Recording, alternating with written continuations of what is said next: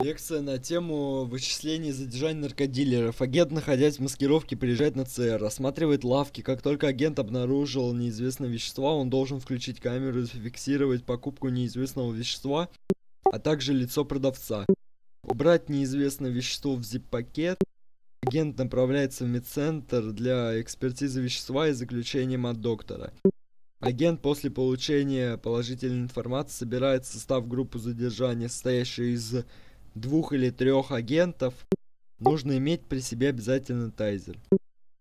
Выезд на место сбыта и задержания продавца, объявить федеральный розыск, зачитать права, привлекать внимание. Приезд в полевой офис ФБР, допрос дилера, установление его личности, а также составление досье и фиксация допроса.